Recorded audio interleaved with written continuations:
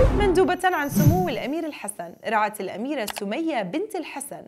الاحتفال الذي أقامته كلية تيرا سانتا بمناسبة تخريج الفوج الخامس والسبعين لكوكبة من طلبتها في الفرعين العلمي والأدبي والبرنامج الدولي البريطاني. حضر الاحتفال قدس الأب إبراهيم فلتس نائب الرئيس العام لرهبنة الفرنسيسكان والسفير البابوي في عمان والدكتورة ريما زريقات مديرة التعليم الخاص وعدد من الآباء الكهنة والأخوات الراهبات.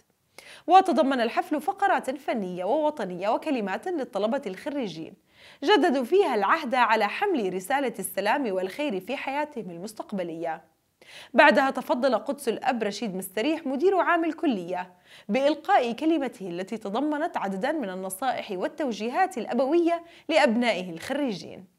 كما احتفلت مدرسة لاتين الفحيص الثانوية بتخريج الفوج السابع والعشرين لطلبة الثانوية العامة بحضور فعاليات دينية ورسمية وتدريسية وشعبية. وفي كلمة وجهها مدير المدرسة الدكتور رامي نفاع للخريجين نصحهم فيها أن يحملوا الله في قلوبهم وعقولهم وأن يتحصنوا بالعلم. اشتمل الحفل الذي رعته الأميرة سمية بنت الحسن على العديد من الفقرات الفنية والموسيقية. وفي الختام سلمت رعاية الحفل الشهادات للطلبة الخريجين. كما رعت الأخت كلارا معشر مديرة مدرسة راهبات الوردية مرج الحمام حفل تخريج الفوج الرابع والعشرين من أطفال الروضة.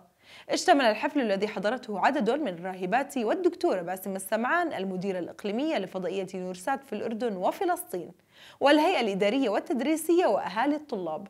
على باقة من الرقصات والدبكات وكلمة لمديرة الروضة الأخت جوزفين قيقية.